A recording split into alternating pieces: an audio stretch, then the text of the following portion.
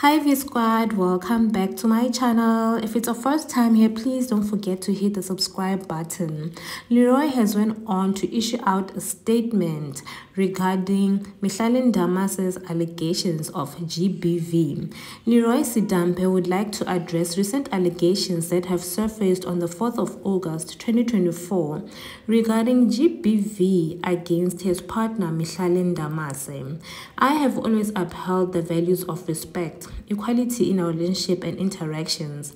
It is disheartening to see how quickly misinformation and manipulation can spread, and how easily someone's character can be called into question without a thorough understanding of the facts. As someone who has experienced the disturbing and hurtful impact of these issues personally, I emphasize deeply with victims of GBV.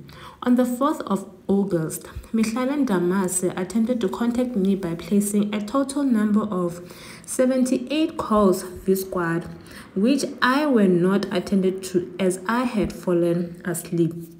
Mihlali then arrived at my residence and requested that my son open for her so that she could see me. Upon arriving, as my son recollects, she headed to the kitchen to equip herself with a knife in the attempt of stabbing me, as she allegedly was shown evidence of me being unfaithful.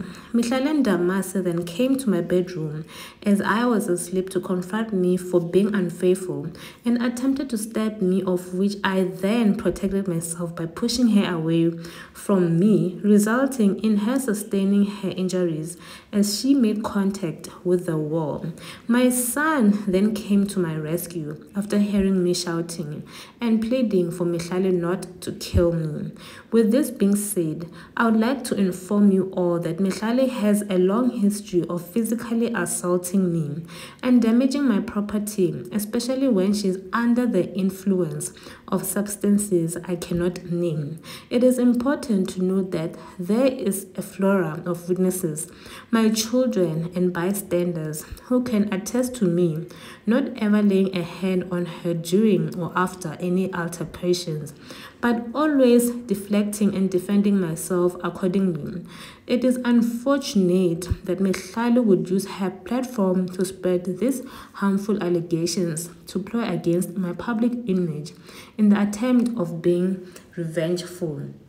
I assure you all that I will continue to cooperate fully with any inquiries, especially from the authorities, to clear my name and restore my reputation from this. Thank you all for understanding and for your support during this challenging time. Do comment on the below V squad and let us know what you think. Is Mihlali going to be losing all her brands?